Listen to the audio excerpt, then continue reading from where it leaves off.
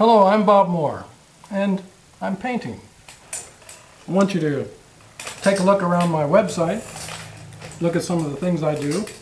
Right now, I happen to be on stilts. Stilts enable me to um,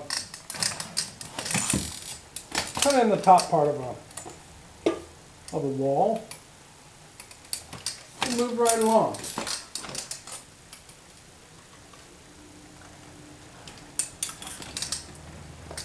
If it weren't for stilts, I'd have to use a little step stool and get up and down and up and down. Take a lot longer.